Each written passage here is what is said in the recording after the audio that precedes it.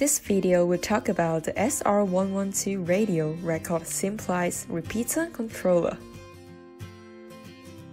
The feature of this controller is complete the repeater function with one single radio.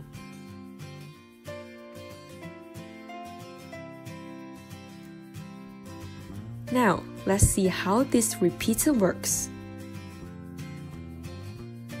If there a person at left hand side and another one at right hand side, they can't have a conversation without the repeater.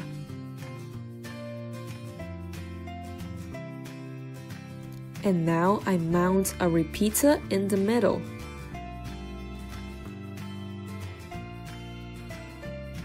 After the person on the left speaks, the repeater will record it.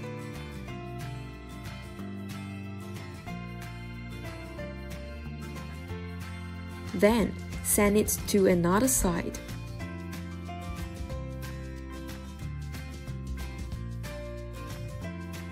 That can achieve the broadcast function.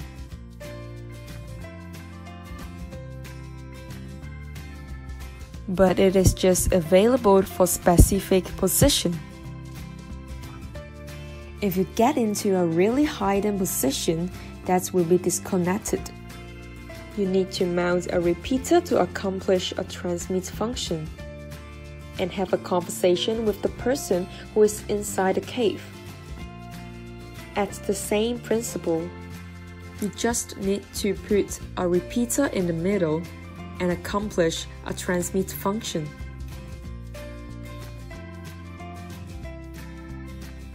The advantages of this repeater is just use the simplest radio. But no need to concern about the problem of antenna interference or the trouble of mutually exclusive from two radios. Or the matter of settle various radio. Now, I will talk about the installation.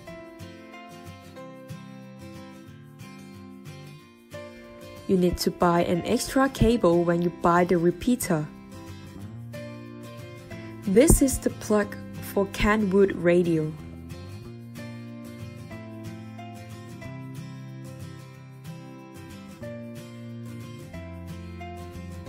This is the plug for Yaesu radio.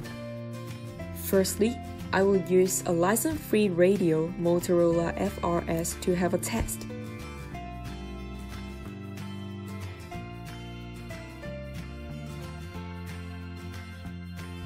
This is a 17mm 4 Knox plug. Insert into two radio position. After that, the red light will on. Then, the repeater will turn on when the red light is flashing. Let's try could the both radio have a conversation. Two one two. One one two one two. After the test, let's insert the plug to the repeater with another side. Assume these two people cannot have a conversation at the foothill. And now I will put a repeater on the mountain top. When I transmit the message, repeater will record the information and send it to another side of the mountain.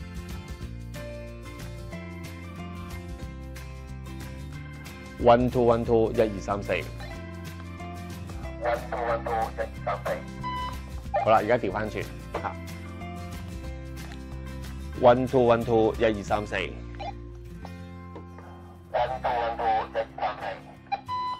Therefore, they can communicate now.